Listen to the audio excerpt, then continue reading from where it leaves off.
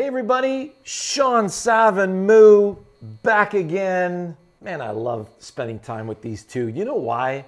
Because their golf swings, personalities too, but their golf swings are amazing, right? Every time Sav goes out, people just stop what they're doing. They love to watch her swing, including myself. This video is all about how we're to guarantee you that you will make a good golf swing every shot you hit onto the golf course. We're going to prove it to you. Stick with us. This is really important.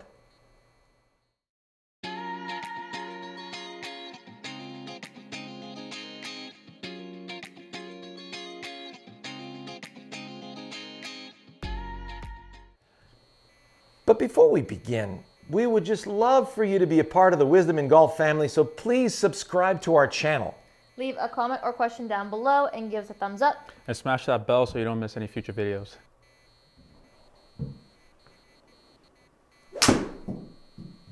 Ooh, man, look at that shot. Good throw. Holy moly. Uh, wow. 220, one take wonder, right? Look at that shot. So that was 210 carry. That's your four hybrid? Three hybrid. Your three hybrid, okay. Uh, then 220 total. You almost knocked it in the hole. We're five feet from the hole at 220. That'll work, Sav. It was a little scuffy. It was a little scuffy. you didn't have to say it. They did never know. I would never know. I didn't know. It was awesome.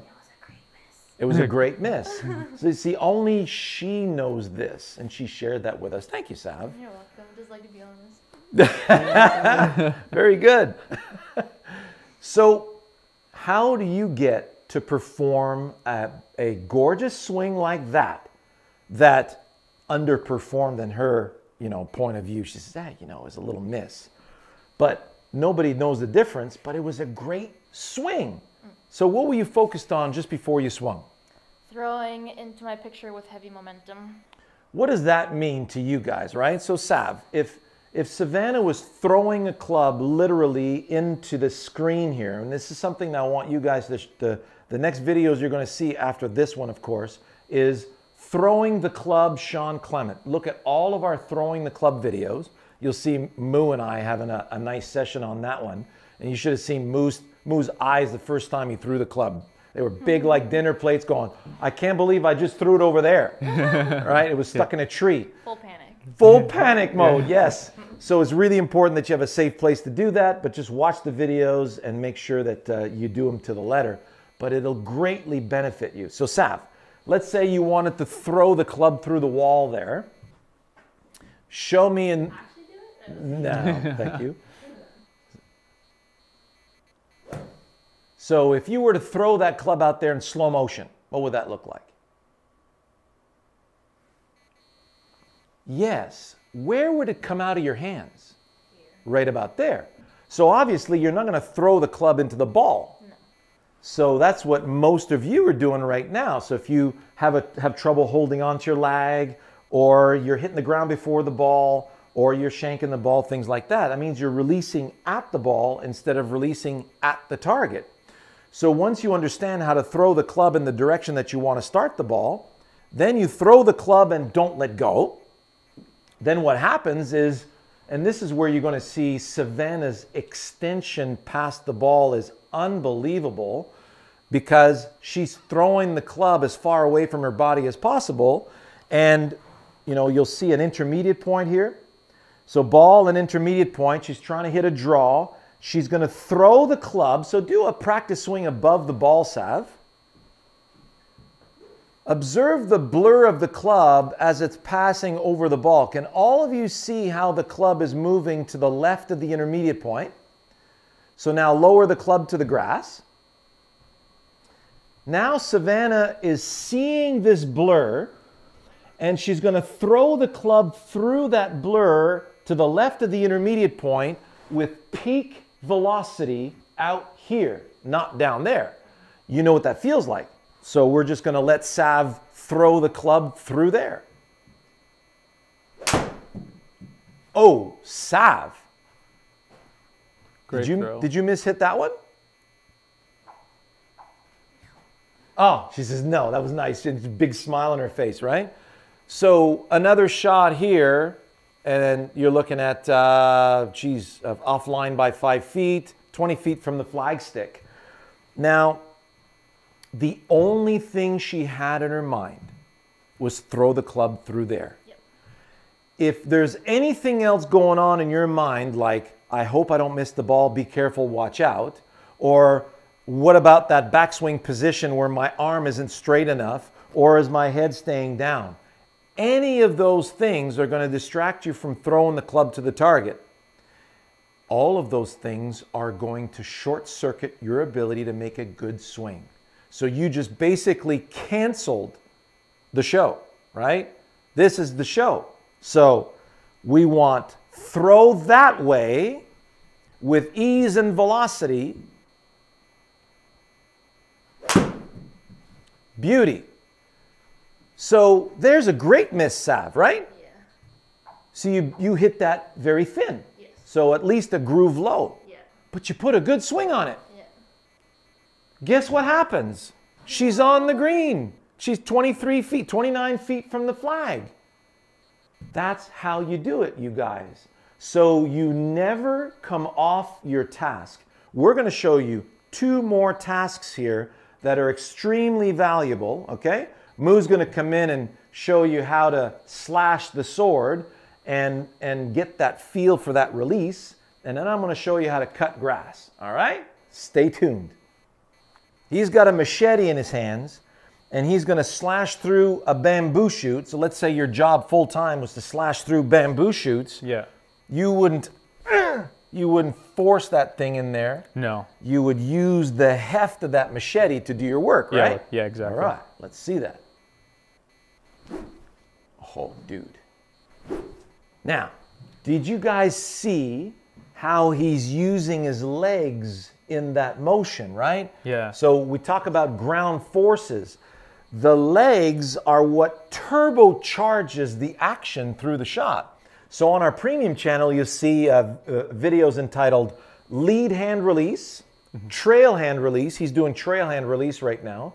Release fine tuning, and there's a snap release polish, but then there's the turbocharged lead hand and trail hand release, Yeah. which is exactly what Mu is doing right now. And that's why he's three clubs longer than I am now. And I'm very proud of the distance that I can get. Right. So let's see lead hand now. Okay. Ooh. Beautiful. Do you see how, look, do a backswing and stop move? Okay. Look at how he's turning his whole backside to the target. And after he finishes that turn, because he's staying close to that lead side, watch the squat that he puts into that lead leg. Okay? So let's see you do one more like that. Okay. Oh, yeah. Doesn't that feel good? Yeah, it does feel good. Oh, it looks so powerful. so now you take the club with both hands. Yeah. Where do you feel is the peak speed in your swing? Out here.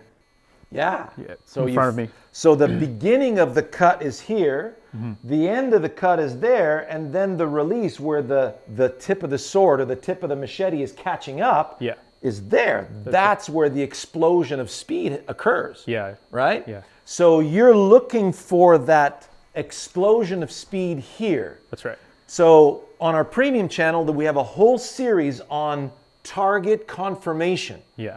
So if you stay with the feel, so Sav was throwing through there and out there, and she's letting the throw stretch her out toward the target. That's hmm. what she's looking for. Yeah. And you're looking for the feel of that release to stretch you to the target. That's it. Let's go. Okay.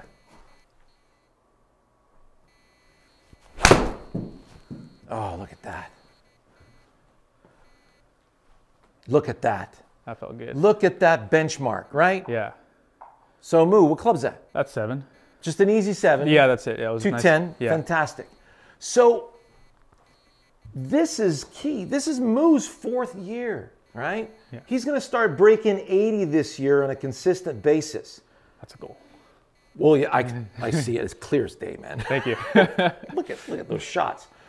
Look at Savannah, and she was a soccer player her whole life. You'll see so many golfers out there that have been taking lessons forever. Their swings don't look anything like this. Why? Because they're busy with body parts to a ball. That can never be your target. Right.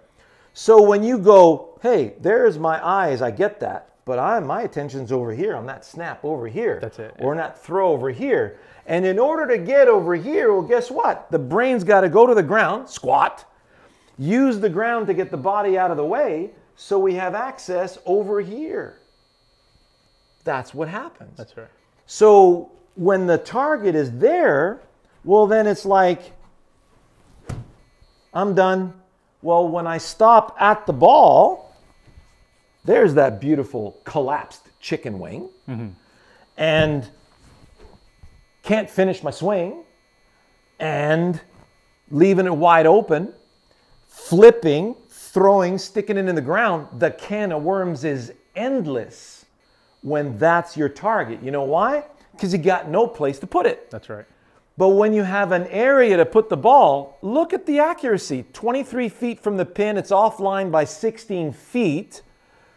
And I didn't have to say boo to him on the first shot. Yeah. He immediately felt what was missing. Hmm. So when you throw into that picture and don't stop doing that, Yeah. great things will happen to you in the future. I guarantee it. You want to derail the process? Easy. Just a, hey, Mu, why did you hit it to the left on the first one? Uh, club face was four degrees open. Why? Well, maybe it was my wrist, Yeah. or maybe it was my weight shift. Oh, you got to let ahead of that one. Maybe you Yeah. want to stay more behind it. Yeah. Blah blah blah. It's but you notice the very next swing was fixed because he felt what was missing Yeah. put another ball down, says, I'm going over there, I'm going to release that way, and boom, it happens. So when he continues on, he's going to continue on his merry way, just like he's done in the last three years. And this could be your swing in the next three years. It's well worth waiting for, trust me. So I'm going to throw darts at the, at, the, at the bullseye for the next two weeks every day for an hour. Yeah. I mean, most of you are going out there to the range five days a week and hitting balls for at least an hour. You might as well be practicing properly and not trying to hit the ball, but really focusing your energy on going to the target. Another video that you want to watch if you're wondering about ball contact and you're worried about what's going to happen to the ball if you throw the club that way, go look at Predict Perfect Contact and Direction, Shawn Clement or how to put the ball in the way of your swing, Shawn Clement, so that you're able to predict that the ball is in the way of you throwing the club into that picture. Okay? And for those of you who are still concerned about ball contact, I got an amazing little tip for you coming right up. You don't want to miss it. Okay, so we have a grass whip. So you notice how that's made right there. You can get these at your local hardware store online because they won't leave this for kids to swing in the alleys. And we have our very own Wisdom in Golf grass whip. Great gift idea. Go to our website at wisdomingolf.com, check out the Pro Shop page, and Ed will be happy to send you a grass whip custom made for you with the size of grip you need, the lie you need, and the length that you want. If you want seven iron length, you want five iron length, I recommend a seven iron length. And um, for the gals and the juniors, I would I would go with a a wedge length is fine. Okay, so you get a grass whip. I mean, I'll use our uh, our very own grass whip here, and I'll put the ball on a tee. And this represents a dandelion in disguise, right? So if my job is to cut grass, and you know when you have a lawnmower and it's cutting grass, there's a chute that you know you can project the grass out of, and simply you want to send some grass in the direction of the target. So if that's a dandelion stem, what I'm going to be doing is sending the dandelion stem in the direction of my target. That's it. So bring that in. My eyes are on the grass between the leading edge of the club and the ball. And if I send this the, the dandelion stem, the tee, I'm going to send that tee out through the screen. Here we go. Get out there. So notice what happened.